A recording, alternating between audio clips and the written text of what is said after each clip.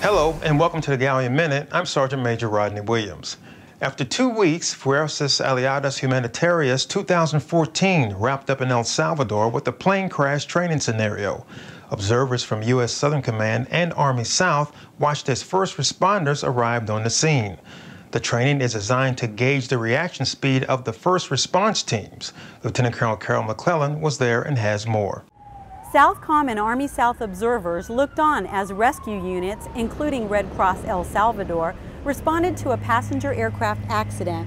This was the final of three field training scenarios during the FAHUM exercise. It was apparent the players took into account lessons learned from the previous events. Information distribution and on-site organization flowed better than before.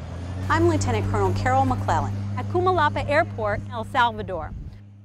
More than 200 national police participated in the scenario. They were responsible for protecting the perimeter around the crash site. This has been a Galleon Minute. I'm Sergeant Major Rodney Williams.